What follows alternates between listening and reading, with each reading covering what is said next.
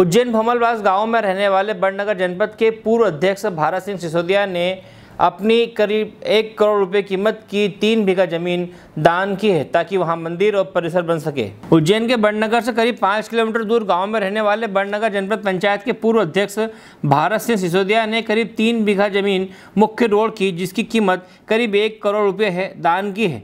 तीन बीघा ज़मीन दान करने का मुख्य उद्देश्य मंदिर परिसर और पुराना मंदिर बेहतर तरीके से बने और बेहतर साज सज्जा के साथ बन सके। उक्त भक्त श्रद्धालु मंदिर परिसर में आराम से बैठ सके और आराम से धार्मिक कार्यक्रम कर सके। उनके पिता ने भी गाँव में प्राचीन श्री राम मंदिर के लिए सात बीघा ज़मीन दान की थी। उनके पिता और पूर्वजों ने उनके संस्कार, ज्ञान, राष्ट्रहित, विरासत में सीखने वाले भारत सिंह सिसोदिया का कहना है और मानना है कि धर्म के मार्ग पर संपूर्ण राष्ट्रहित में मार्ग पर चलकर बेहतर काम करने से बड़ा कोई कार्य नहीं और दान पुण्य करने से उनके पिता और पूर्वजों ने बचपन में ही उन्हें सिखाया था। उज्जैन से वीरेंद्र शर्मा की रिपोर्ट। चाहिए इस प्रकार धर्म को आगे बढ़ाना चाहिए। हमारे पूर्व विधायक साहब जी दवाई साहब। जी सर।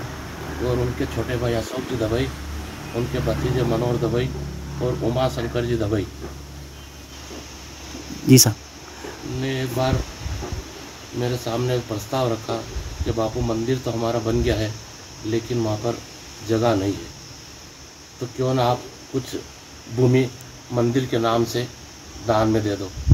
तो मैंने फिर विचार करके पूरे परिवार वालों ने विचार करके तीन बीघा ज़मीन बेरू महाराज को अपने में दान में दी।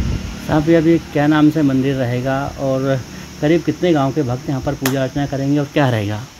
वहाँ वहाँ पर समस्त यादव समाज मोमनास के संपूर्ण लोग, आसपास के लिखोदा खंडवासुरा असावता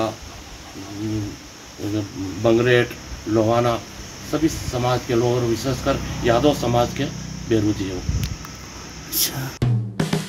हेलो फ्रेंड्स आप देख रहे हैं हमारा channel S W twenty four news हमारे सारे वीडियो सबसे पहले देखने के लिए आप हमारे चैनल को सब्सक्राइब करें और पास में लगे बेल आइकन को दबाना बिल्कुल भी ना भूलें।